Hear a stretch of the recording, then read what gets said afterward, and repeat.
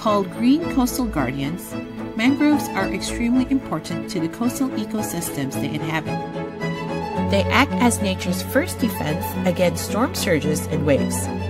They also protect estuaries and coastlines from erosion. Mangrove forests cover an area of about 14.7 million hectares worldwide. Shenzhen has 213.62 hectares of mangrove forest.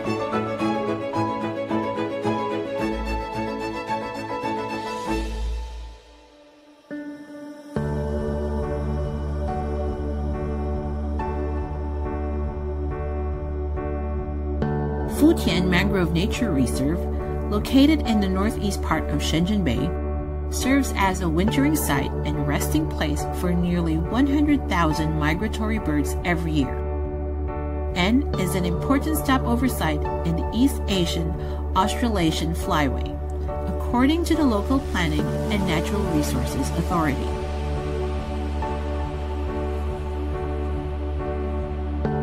In 2020, it was selected on the list of key national wetlands. And in 2021, the reserve was selected as a typical practice case for mangrove conservation by the Ministry of Natural Resources and the International Union for Conservation of Nature.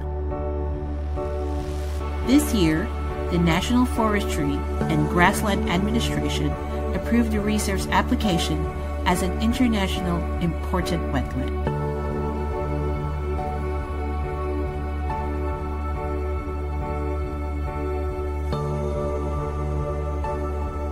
In recent years, Shenzhen has been stepping up wetland protection, aiming to build and restore at least 51 hectares of mangrove wetland areas during the 14th five year plan period and build itself into an international wetland city by 2035, with 50% of its wetlands under protection.